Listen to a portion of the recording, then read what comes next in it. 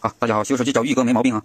这是一个云南文山粉丝机器的魅蓝一二啊，他寄了两个手机啊，还有一个八叉 Max 啊，都是不充电不开机啊。然后我们拿到手机啊，他发现卡槽也不见了啊，卡槽也不见，然后外边是碎破破烂烂的啊，破破烂烂的啊。我们来检查一下这手机是什么原因不开机。好，后盖打开以后啊，我们发现这电池还有点泡泡的啊，看到没有？电池有点泡泡。然后我们先断电啊，看一下什么电流。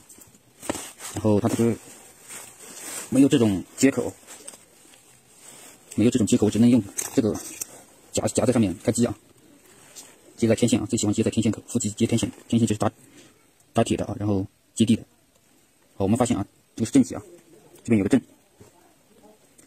我们发现家电是不漏电啊，没反应。然后我们看一下开机键看一下什么电流啊，我们看清好，摆一下，然后定度大概定在九十左右啊，然后松弛归零，摆一下定度，松弛归零啊，不开不了机啊。